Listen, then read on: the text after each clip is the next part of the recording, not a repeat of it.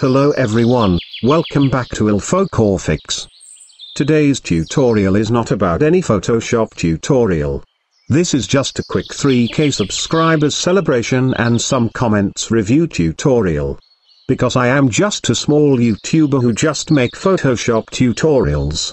Last day I was thinking about the next tutorial and making that. But one of my viewer comment this. Though he loved my tutorial. Thanks for that. But he tells me about SMZeus to grow my channel. But what is SMZeus? I never heard of that. But for more information I go to Google. Then search for that. I found this website. As usual this is like others, on little introduction video for everyone. You can watch. Though I don't have time for that, so I go down and look more information about this SMZeus. But I think this is a spam website. But I enter into this and make a profile. Then I go to this and now I see it's a website where you can buy subscribers, views, and so on.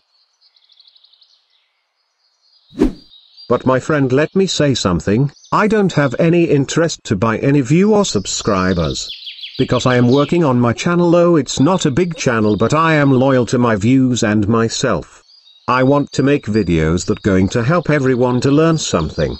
I am not searching for that sub boot or YouTube view. I am happy with what I got.